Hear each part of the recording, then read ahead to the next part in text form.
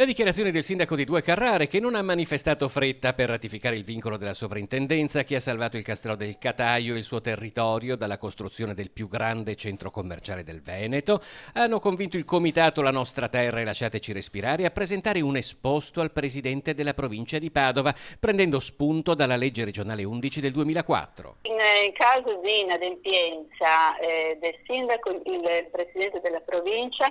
può convocare il consiglio comunale oppure può dare un termine entro cui diciamo, portare a termine l'iter, in extremis può anche commissariarlo, questo dice la legge, ma non credo insomma si, si possa e si debba arrivare a questo. Il documento indirizzato al presidente della provincia Enox Soranzo fa riferimento al piano degli interventi che il comune di Due Carrari avrebbe dovuto adottare il 24 maggio dell'anno scorso. Piano degli interventi è scaduto da molto tempo, da un anno e mezzo e sarebbe dovuto essere rinnovato entro maggio 2017.